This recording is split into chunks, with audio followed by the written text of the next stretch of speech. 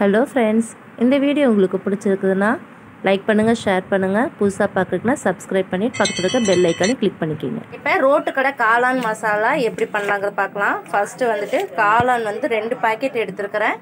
அதுக்கு வந்து முட்டைக்கோஸ் தான் நிறையா போடுவாங்க. ஸோ வந்து முட்டைக்கோஸ் எடுத்துருக்கிறேன். முட்டைக்கோஸ் வந்து ஒரு ஒரு முந்நூறு கிராம் முட்டைக்கோஸ் இருக்கும்.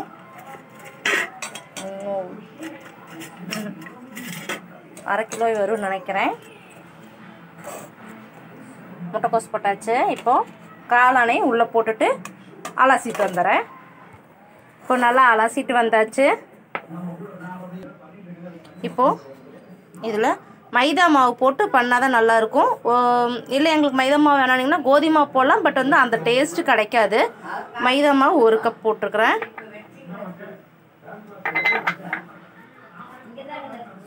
இது அரிசி மாவு ஒரு கால் கப்பு. மிளகாத்தூள் கரம் மசால் உப்பு போட்டுக்கலாம் தேவையான அளவு. இதுக்கு எவ்வளோ தேவையோ அந்த அளவுக்கு உப்பு போட்டோம்னா போதும். இதை நல்லா பெரட்டி விட்டுக்கலாம். தண்ணி வந்து அதில் இருக்கிற தண்ணியே போதுமானது. நம்ம எக்ஸ்ட்ரா தண்ணி எதுவும் ஊற்ற வேண்டியதில்லை. ஓகே நான் பிணைஞ்சிட்டு காட்டுறேன். இப்போ இது ரெடி ஆயிடுச்சு. இப்போ பார்த்தீங்கன்னா எண்ணெய் நல்லா காஞ்சிருச்சு. இப்படி இப்படி இப்படி. எந்த பொசிஷனில் வருதோ நீங்கள் அந்த மாதிரி போடுங்க. நான் இப்போதைக்கு உதிரி உதிரியாக தான் போடுறேன்.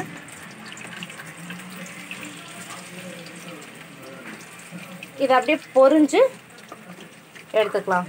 இன்றைக்கி எனக்கு ஹெல்ப்புக்கு அம்மா. அம்மா தான் ஹெல்ப் பண்ணிட்டு இருக்கிறாங்க சரி பொரிச்சிடுங்க. ஓகே இதனால் விட்டுருங்க விட்டுருங்க விட்டுருங்க. அப்படியே இருக்கட்டும். கொஞ்சம் வேகட்டும். வெந்ததுக்கப்புறம் எடுங்க. இப்போ எதுவும் பண்ணாதீங்க. ஓகே இதை நான் பொரிச்சிட்டு உங்களுக்கு நான் காட்டுறேன். காளான் பொரித்து எடுத்தாச்சு. இப்போ இந்த மாதிரி பிசு பிசுறாக பண்ணி எடுத்து வச்சாச்சு. அடுத்து கடாயில் இந்த பொரிச்ச எண்ணெயவே வந்து உள்ளே ஊற்றிக்கலாம் ஊற்றிட்டு தாளிக்கிறதுக்கு எல்லாம் ரெடி பண்ணிக்கலாம். பார்த்தீங்கன்னா வெங்காயம் பொடியை பெரிய வெங்காயம் தான் பொடியை கட் பண்ணி வச்சுருக்கிறேன். கருவேப்பிலை மல்லித்தூள் காரத்துக்கு பார்த்தீங்கன்னா ஆல்ரெடி நம்ம இது காளான்லேயே போட்டிருக்கனால இதில் கம்மியாக இருந்தால் போதும். அதனால் இதில் ஒரு அரை ஸ்பூன் எடுத்து வச்சுருக்கிறேன். மல்லித்தூள் ஒரு அரை ஸ்பூன் கொத்தமல்லி இலை பொடியாக கட் பண்ணி வச்சுருக்கிறேன். இதுக்கு லாஸ்ட்டாக நம்ம வந்து ஊற்றுறதுக்கு வந்து சோள மாவு எடுத்து வச்சுருக்கிறேன். ஒரு ரெண்டு ஸ்பூன் எடுத்து வச்சுருக்கிறேன். ஓகே இப்போ வெங்காயம் வெங்காயத்தை வந்து உள்ளே போட்டுடலாம். எண்ணெய் வந்து நல்லா காஞ்சிருச்சு. வெங்காயத்தை போட்டுக்கலாம். போட்டு இது நல்லா வணக்கிடலாம். இதுக்கெல்லாம் பார்த்திங்கன்னா ரொம்ப டீப் ஃப்ரை எல்லாம் பண்ண வேண்டியதில்லை. லைட்டாக இருந்தாலே போதுமானது.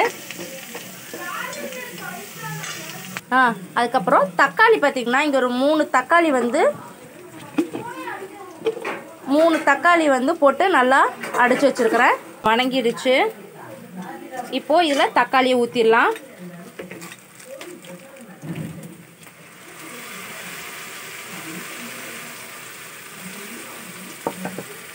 புளிப்பு கொஞ்சம் வேணும் அப்படின்னு நினச்சிங்கன்னா லாஸ்ட்டாக வந்துட்டு எலுமிச்சம்பழம் வேணால் கொஞ்சம் எக்ஸ்ட்ராவாக சேர்த்திக்கலாம். இப்போ நல்லா கொதிச்சுட்ருக்கு கூட மிளகாத்தூள்.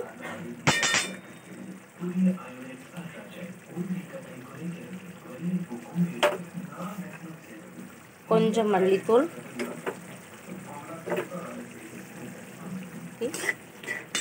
லைட்டாக சீரகத்தூள் ஒரு கால் ஸ்பூன் மாதிரி. போட்டு இதை நல்லா வணக்கி விட்டுக்கலாம்.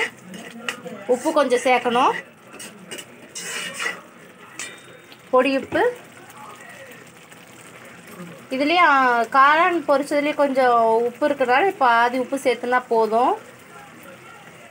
இப்போ ஒரு ஒரு ஸ்பூன் சேர்த்துருக்குறேன். சின்ன ஸ்பூன் தான்.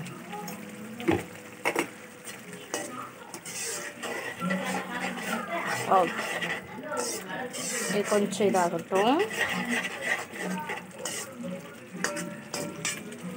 இப்போ பச்சை வாசம் நல்லா குறைஞ்சிருச்சு. இப்போது இந்த சோள மாவை வந்து தண்ணி ஊற்றி நல்லா கரைச்சாச்சு. இப்போ இந்த கரைச்ச சோள மாவை இதில் ஊற்றிடலாம் ஊற்றி நல்லா கலக்கிக்கலாம். இப்போ கலக்கிட்டு இந்த காளானையும் நம்ம போட்டலாம். காரம் வேணுங்கிற மாதிரி சேர்த்திக்கிங்க.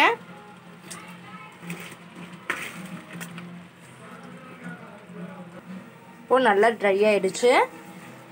ஓகே காளானும் அந்த தக்காளி பேஸ்ட் இதெல்லாம் வந்து நல்லா ஜாயிண்ட் ஆயிடுச்சு. இப்போது கொத்தமல்லி இலை தூவிடலாம்.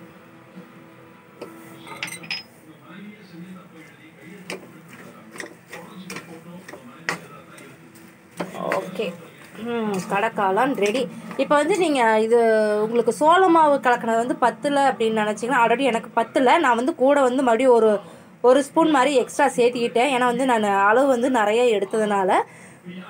நார்மலாக பார்த்தீங்கன்னா ஒரு பேக்கெட் காளானுக்கு ஒரு ஒரு இரநூறு கிராம் மாதிரி முட்டைக்கோஸ் எடுத்திங்கன்னா வந்துட்டு உங்களுக்கு ஒரு ஸ்- ஒரு ரெண்டு ஸ்பூன் கா சோளமாக போட்டிங்கன்னா கரெக்டாக இருக்கும். எனக்கு வந்து பத்தில் மறுபடியும் நான் ஒரு ஒன்று ஒன்றரை ஸ்பூன் சேர்த்திக்கிட்டேன் சோ சோளமாவு. அதனால் வந்து எனக்கு கரெக்டாக இருக்குது. ஓகே இப்போ நான் பரிமாறி காட்டுறேன்.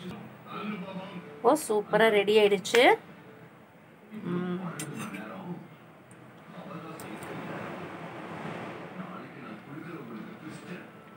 சூப்பராக இருக்கு. நீங்களும் இது வந்து இதை வீட்டில் ட்ரை பண்ணி பாருங்கள் காரம் வந்து உங்களுக்கு தகுந்த மாதிரி போட்டுக்கோங்க. எங்களுக்கு இது போதும். பத்தில் சப்போஸ் அப்படி உங்களுக்கு இதில் காரம் பத்தில் அப்படின்னா லாஸ்ட்டில் வந்து இந்த மாதிரி பரிமாறிட்டு கூட நீங்கள் பெப்பர் போட்டுக்கலாம். ம். எங்கள் வீடியோ நீங்கள் புதுசாக பார்க்குறீங்கன்னா லைக் பண்ணுங்கள் ஷேர் பண்ணுங்கள் மறக்காமல் சப்ஸ்கிரைப் பண்ணிவிட்டு பக்கத்தில் இருக்க பெல் பட்டனையும் ப்ரெஸ் பண்ணிக்கோங்க. ஓகே ஃப்ரெண்ட்ஸ் அடுத்த வீடியோவில் பார்க்கலாம். பாய் ஃப்ரை ரெடி ஆயிடுச்சு ரோட்டுக்கடை ஸ்டைலில் செஞ்சது ஓகே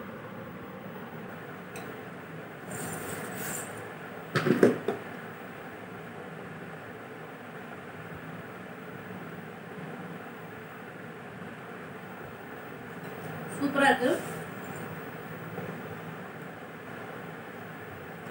இந்த காளான் வந்து எனக்கு ரொம்ப பிடிக்கும்.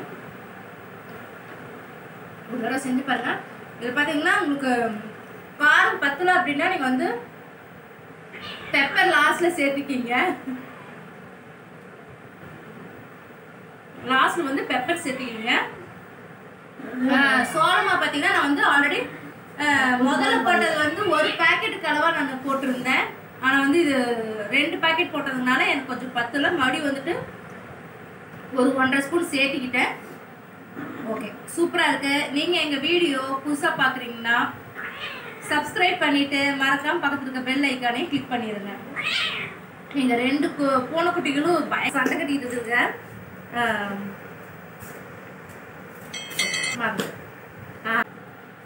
லைக் பண்ணுங்கள் ஷேர் பண்ணுங்கள் மறக்காமல் சப்ஸ்கிரைப் பண்ணிவிட்டு பக்கத்தில் இருக்க பெல் ஐக்கானே கிளிக் பண்ணிடுங்க அடுத்த வீடியோவில் மீட் பண்ணுறேன் பாய் பாய்